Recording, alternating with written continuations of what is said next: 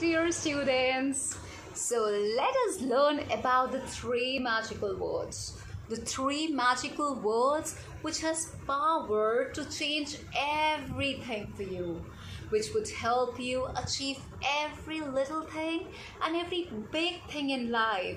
So do you really want to know what are those three magical words? Okay, so let's sing the song together. The three magical words, the three magical words. Please, sorry, thank you. Please, sorry, thank you. Always remember, always remember, my dear friends, my dear friends. The three magical words, the three magical words. Please, sorry, thank you. Please, sorry, thank you.